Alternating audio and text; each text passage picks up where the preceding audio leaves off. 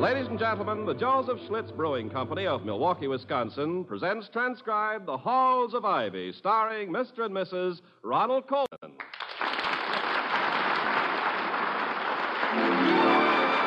I was curious. I tasted it. Now I know why Schlitz is the largest selling beer in America. No wonder it's the beer that made Milwaukee famous.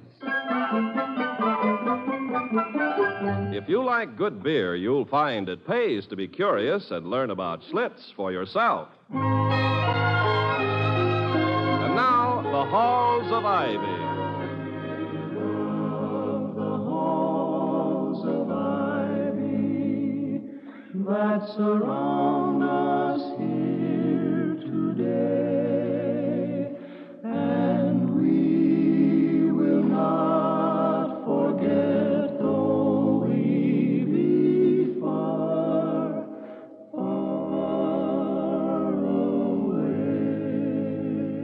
Welcome again to Ivy. Ivy College, that is, in the town of Ivy, USA. It's Saturday afternoon, and the Ivy campus has the deserted air of a United States destroyer when the crew is away on shore leave. But there are two still on deck Commodore William Todhunter Hall, otherwise known as the president of Ivy, and his good mate, the former Victoria Cromwell of the English Theater. There's reason for the Halls to be aboard, but to Dr. Hall, the reason is far from good. I don't know why I stand for it. Year after year, I lose pounds. My nerves are shattered by the mere anticipation of it. But they love it so, Toddy. It's such an event for them to look forward to. They don't have much fun, you know. My dear Victoria, to use the word fun when speaking of the Ivy Women's Civic Reform League is ridiculous. Self improvement is rarely fun, particularly when the necessity for it is so evident. Dr. Hall, please remember you are speaking of an organization which I have been invited, even urged, to join. and which for five years, to my certain knowledge, you have successfully ducked. I wish you luck for the next five. Put five more on it for me. the one real inducement is that I could at least hear you read a poem to them once a year. Personally, I think it's much too good for them. Uh, if I could get out of this thing, I would gladly give you a personal command performance once a week. Well, you can't. You've got to be their lion once a year, just as long as you're president of Ivy, unless you don't need their support or their money for the college. I do. The love of money is the root of all evil. And for Ivy's sake, I'll water the roots. but if it weren't for that horde of women, if there were only a man or two around, I would quite enjoy it. I wouldn't mind once a year exchanging the musty air of the campus for the heady aroma of ham. But to this audience. Ah, Toddy, they're really very nice. Yeah, but they frighten me. when I think what putty I am in the hands of one woman, well, this gathering could use me to tighten every loose window pane in America. you just got opening night jitters. you think that after appearing before the Women's Civic Reform League eight years in a row, I'd be a seasoned performer by now. Yes, too bad you can't have a line of dancing girls for support. Yes, yes, sounds most attractive. a chorus of Ta-ra-ra Boom-de-ay between each verse might really help the box office. what poem are you doing? The Eve of St. Agnes. It's a request number and not my favorite among Mr. Keats's work. Mm. Just what selection would you have preferred, Doctor? The shooting of Dan McGrew? Face on the barroom floor? Or boots? No, no, I, I take my poetry rather seriously, as you know. And while I was a great admirer of Robert Service in my youth. You are now an ex serviceman. but poetry has a function even in this atomic age. Great poets catch something of eternal truth in their lines. Those cobwebs of verity which are as strong as steel holding in suspension the beauty and perception which distinguish us from the rest of the animal kingdom. Hmm. I hope you wrote that down, my darling. I can use that again sometime. Yours of July 5th received and contents noted. Uh, Vicky, who's that? What? Out the window. That enormous young fellow slinking back and forth in front of the delphiniums. Oh, yes. Seen those shoulders before? Isn't that Philip Carnes, our best fullback? Why, yes, it is. I believe he's known on the campus as Moose, the Texas Moose. Yeah, very aptly named. though our garden is a trifle small for a game preserve. what's, what's he doing out there? I wouldn't know, Toddy, unless it has something to do with that little talk I had with him in the bookshop this morning. A football player in a bookshop? Well, was it raining? No, he'd gone in to use the phone. And uh, he seemed so frightfully depressed. He has a love problem, Toddy, and I gave him some very constructive advice. Oh, I'm sure you were very helpful. What advice did you give this love torn giant? I advised him to come and see you. Oh. Well, that's what I always advise everybody. I figure I like to see you, so why shouldn't everyone? Well, thank you. A nice sentiment, although the, the sequitur is definitely none. I must say, I didn't expect him so soon. I know you don't want to be disturbed right now. Well, he seems quite undecided about coming in. Maybe if we're very quiet, he'll go away. Hmm. I believe he is going away. Well, if he is, he'd better start. Anything as large as that will take several hours to get hull down on the horizon. No, he's, he's coming back. Oh, can't you see him for a few minutes? Oh, whatever his problem is, I'm sure it'll keep one more day. Young men have a tendency to magnify these things. Well, he can't be as miserable as he looks. Such trivial things as this shouldn't be permitted to. Oh, well. Uh, Philip, Yes, sir? come in. Yes, sir. Dr. Hall, I suspect you of having nice instincts. In fact, I've been collecting evidence of it for years, and I have you just about convicted. Well, I might as well see him now and get it over with. I'll probably have a very busy schedule at the college tomorrow. Yeah, tomorrow's Sunday. Oh, well, Sunday will be a busy day, too. Getting the hammock out of the basement, stringing it up, lying in it, getting out and stringing it tighter. I'll leave you two alone for your man-to-man talk. Oh, you make me feel like Judge Hardy. Yeah. Well, you have the large economy size Mickey Rooney to deal with, Judge. I hope it's interesting. Ah, come in, Philip. Thank you, sir. Right in here. Sit down, won't you? Thank you, sir. Yeah, you, you, you'd better take the large chair. All right. Gee, I, I'm sorry, sir. I, I didn't see that smoking stand. Uh, they, they call me the moose, you know, and uh, it's not because I'm so graceful. I'm sure it wasn't your fault, Philip. You know, uh, since you came in, the entire room seems to have shrunk. Please visit us often. You make me feel quite dainty. well, uh, uh, how's um, spring training coming along? Just fine, sir. Just fine. I suppose you, you wonder why I. I suppose you know why I came over to see you. Well, Mrs. Hall did mention something about a problem. You probably think I'm kind of dopey, bothering you about something like this. Oh, not at all. Now, if you just tell me what your problem is. All right, sir, I, I will. Uh, it's about my girl, Dolores. Dolores Whitaker. I met her the first of this semester in Chem Lab. Uh, we shared the same Bunsen burner. Yeah. We, uh, we didn't talk too much at first, just chemistry stuff like H2O. That's water. Yes, I know. and as a morsel of knowledge to share with one's love, it's a little damp, but it's a definite beginning. Sure. Well, uh, I asked her to go to my fraternity dance, but she had a date with a guy named Joe Shellhammer. Uh, you know Shellhammer. He's that tennis player. He saw us flapping around in white flannels. Well, uh, I didn't like to ask her to break a date with him. But on the other hand, if, if she did go with Shellhammer. Uh, Philip, Philip, Philip, I, I don't mean to rush you, but couldn't we get to the heart of the matter? Oh, uh, yes, sir. Well, uh, anyhow, uh, we've been going steady for the last six months. We have our own private code.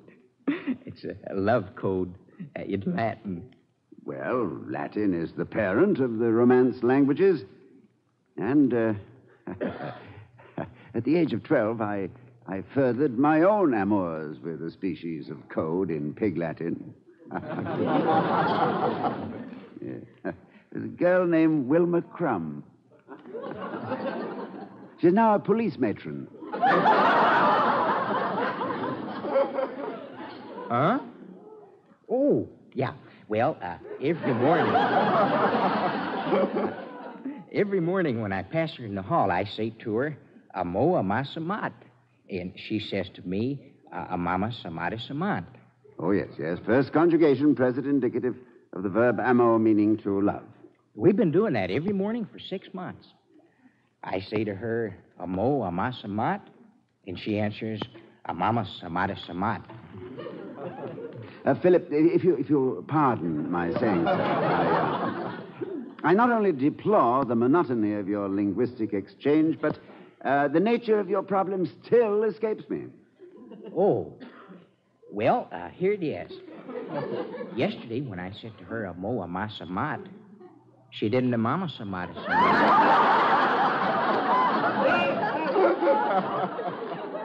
She, she, she, she didn't what? That's my problem. Why didn't she? Well, Maybe she doesn't love me anymore. I wouldn't jump to conclusions, Philip. She may simply have forgotten. Forgotten. That's just it. People forget only what they want to forget.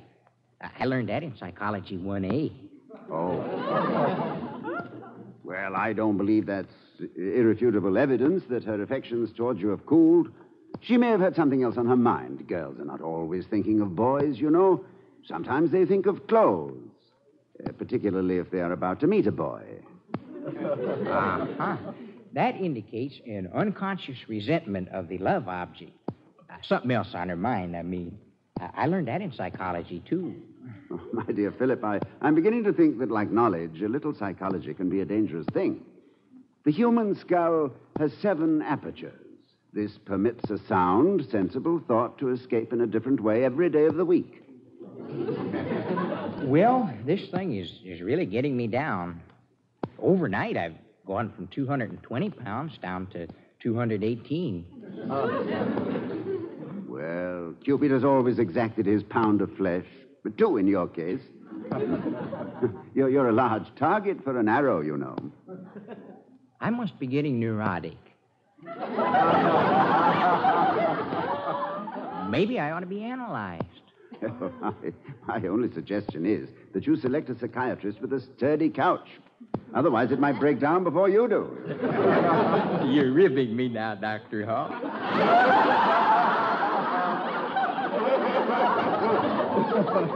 I guess I deserve it. Oh, no, no, forgive me, Philip. I, I really want to help you. I know this all sounds pretty goofy, but every morning when I meet Dolores in the hall and she says those those few words, it's it's like telling me she loves me all over again. It, it makes me feel good. It picks me up for the whole day. I, I go around saying to myself, Moose, you're a lucky stiff. She really loves you. Hmm. I guess it's kind of hard for anyone else to understand. Philip, I'm going to tell you something I've never told anyone before. About an hour from now, I'm going to recite a poem for a local group. Something I do every year. It's not an earth shaking event, but, but it's important to the organization which sponsors it. Every year, when they call on me, I, I stand up to face that audience with my knees trembling, and then I reach into my coat pocket, and I'll find a note. It's a note from my wife.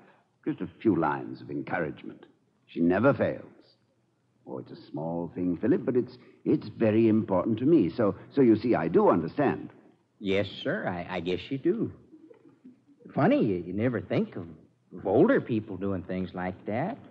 One of the compensations for being older people is a certain increase in understanding and a slight dulling of supersensitiveness. One is not so slowed down by being cut to the quick. When young people are in love, they tend to be upset by little things. If you allow yourself to be unduly hurt by every tiny act of inattention, it's, well, it's, uh, you know, it's like not seeing the forest for the trees. Say, that's a good way to put it. It, um, always has been. but perhaps you'll take the word of an older man who may be just a little bit more experienced about these things. I was about to say wiser, but that's a different thing. Experience and wisdom are bedfellows, but sometimes experience snores too loudly. Well, gee, thanks, Dr. Hall. I, I'm going to run over and see Dolores right now. Gosh, I knocked it over again. Toddy? Oh, come in, my dear. Yeah. Where's Philip? I'm down here, Miss Hall. I'm afraid I got ashes all over the rug. I'm trying to brush them off. Oh. Yes, Vicky, you just missed a very thrilling play. Philip straight armed the smoking stand, reversed his field, eluded the easy chair, then crashed over for a touchdown under the piano. I'm sorry I wasn't here to lead the cheering section. I came in to see what coat you're going to wear today, Toddy. Oh, the dark blue, I think. All right. I'll get it out and give it a good brushing.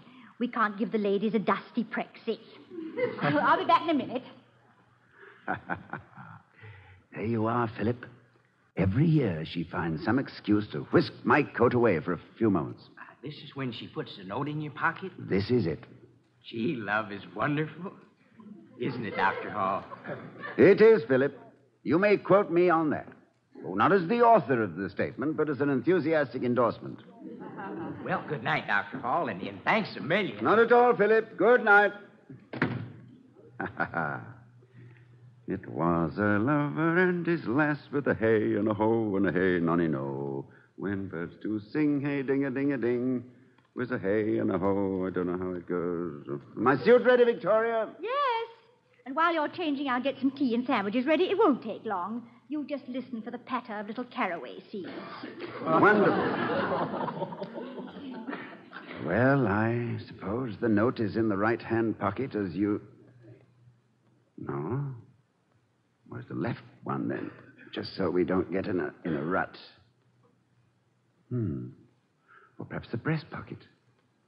No, only the handkerchief. That, or that, that leaves the inside one then. As the old saying has it, things are always in the last place you look because after you find them, you don't look anymore. so I. Well, she forgot it. this is a novelty. A professor with an absent minded wife.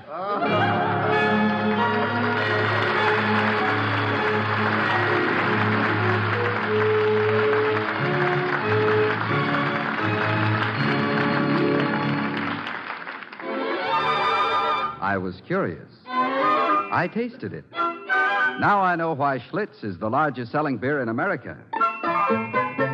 No wonder it's the beer that made Milwaukee famous.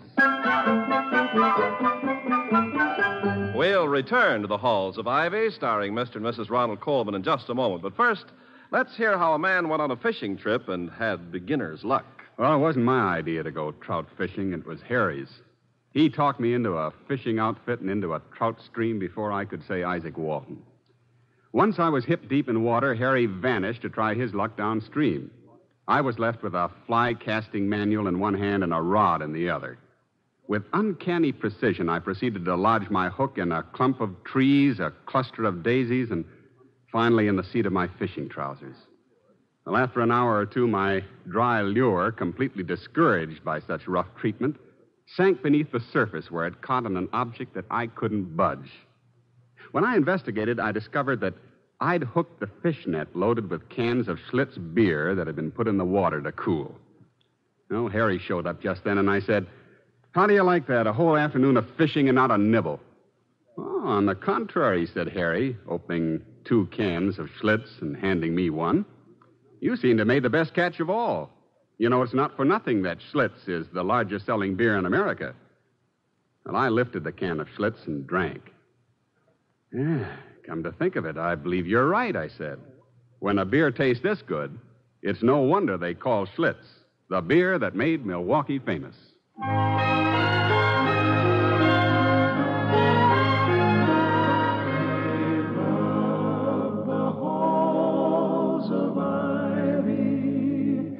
that surround us here As we return to the halls, we find Dr. Hall about to leave for his annual poetry reading at the Women's Civic Reform League. But it's a disturbed Dr. Hall because Vicky has apparently forgotten her usual note of encouragement and support. I'm sorry young Phillips broke into your time with his love problems. Oh, I'm quite used to that by now, Vicky. I've spent so much time policing undergraduate affairs of the heart. I feel like a combination of Beatrice Hoover and J. Edgar Fairfax. I don't suppose you're free to tell me what it was all about. Though I don't know why a boy who wears his heart on his sleeve should object to a passerby listening to it beat. Well, it seems he was quite upset because his young lady friend failed to. to no, no, no. It's too inconsequential to talk about. Oh, yeah, I see. The masculine code of honor. Never discuss man to man talk. Well, anyhow, it's time for you to be going. Um, What is it? I. Uh, I forgot what I was going to say. It's not like you. You never seem to forget anything. Oh, ho, ho. Practically never, anyway. Yes. Toddy, hadn't you better get started? Yes, I suppose I should. Well, goodbye, Vicky. Goodbye. What's the matter? Have you forgotten something? No, no, I, I believe I have everything. I, um, I hope I have, anyway. Uh, goodbye, darling. Goodbye.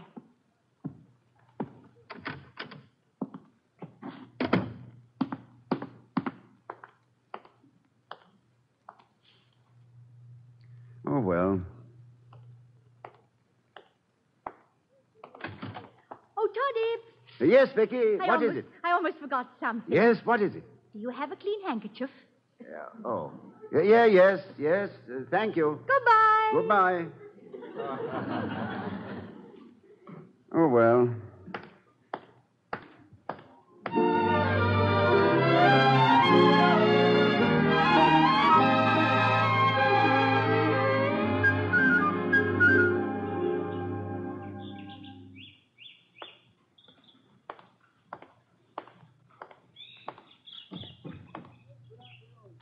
Ah, there, Skipper. Good afternoon, Professor Heaslip.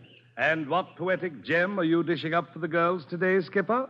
Something, I hope, which will bring a tear to the eye, a throb to the chest, and a tendency to clutter up the exit as they depart. Um, uh, are you familiar with Emery Dobson's uh, epitaph to an enervating companion? Dobson? Dobson? Epitaph to a. No, Skipper, I'm afraid that one has passed me by. Well, I, I was just testing your knowledge, Heaslip. I, I'm really doing The Eve of St. Agnes by John Keats, by request. It's not the selection I would have chosen had I been given a free hand, but with a command performance, one doesn't question the sense of the command. How right you are, Skipper. How right you are. Mrs. Heaslip, you know, is a moving spirit in the Ladies' Civic Reform League. A crusader, a local Joan of Arc. She hears voices. Yours by preference, Skipper. Mm, very kind of her, I'm sure. Mm, mm, very kind, very kind. You appear rather more preoccupied than your attainments as a public poetry reader would seem to necessitate, Skipper. Everything well in hand? Acknowledgement of the introduction all prepared? Got the notes, the throat lozenges? Yes, I have everything, thank you, Heaslip.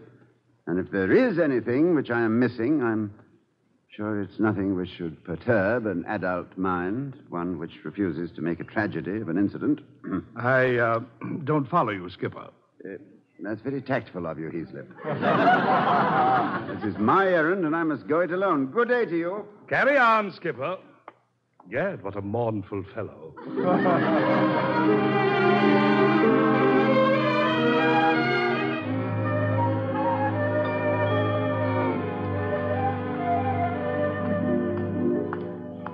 Dr. Hall, Yes?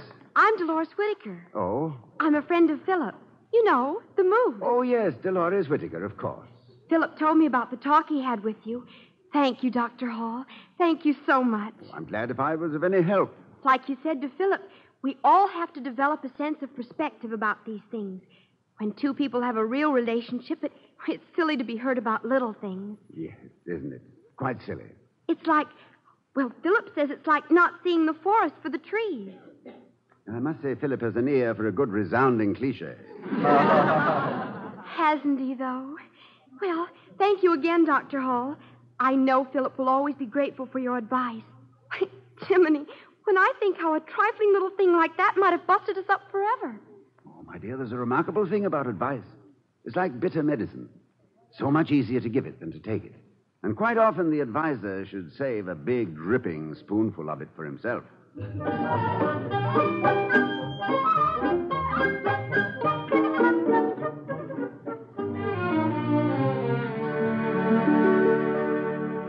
now, ladies, our pièce de résistance.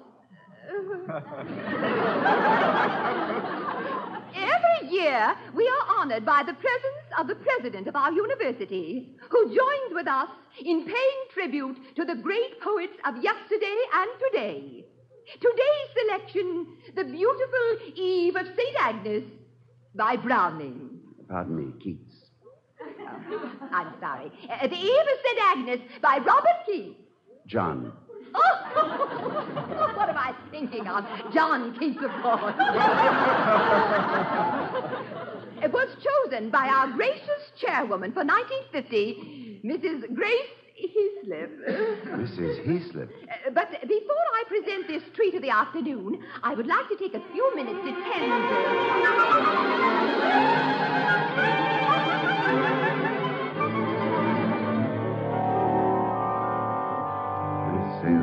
frightening, aren't they? And, oh, oh, oh, Vicky, I do miss your note. It's the first time you've ever forgotten anything like that. Doctor, you dropped something. Uh, I beg your pardon, madam? When you pulled out your handkerchief to wipe your glasses, you dropped this slip of paper. Oh, uh, thank you. Thank you, madam. Th- thank you, Vicky. Oh, not Vicky, Doctor. Helen. Uh, thank you, Helen. Uh, uh, madam. Dear Toddy, do a good show. Thinking of you every minute. Bless you, Vicky. Now back to the main purpose of this meeting, ladies. It is my great honor and pleasure.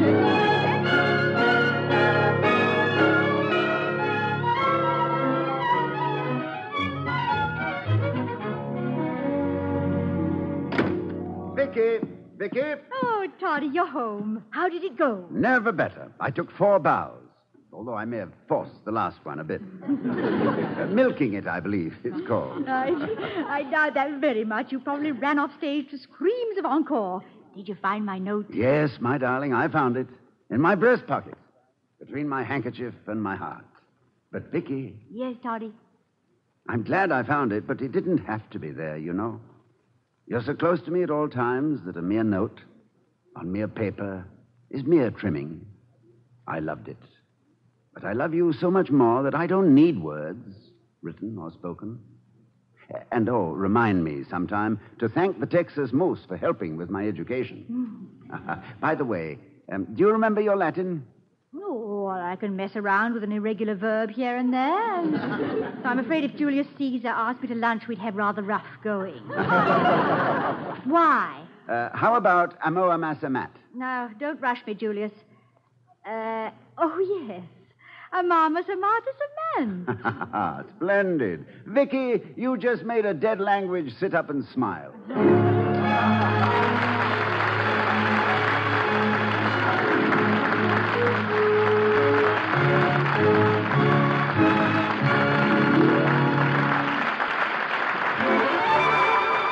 I was curious. I tasted it. Now I know why Schlitz is the largest selling beer in America. No wonder it's the beer that made Milwaukee famous. And here again are Mr. and Mrs. Ronald Colman. Good night, everyone. Good night. Be sure to see Ronald Colman's latest picture, Champagne for Caesar. We'll be seeing you next week at this time at the Halls of Ivy, starring Mr. and Mrs. Ronald Colman. The other players were Ellen Reed, Gloria McMillan, Lois Corbett, and Robert Easton. Tonight's script was written by Gene Stone, Jack Robinson, and Don Quinn. Our music was composed and conducted by Henry Russell. The Halls of Ivy was created by Don Quinn, directed by Nat Wolff, and transcribed by the Joseph Schlitz Brewing Company of Milwaukee, Wisconsin. Ken Carpenter speaking. Next, hear The Falcon on NBC.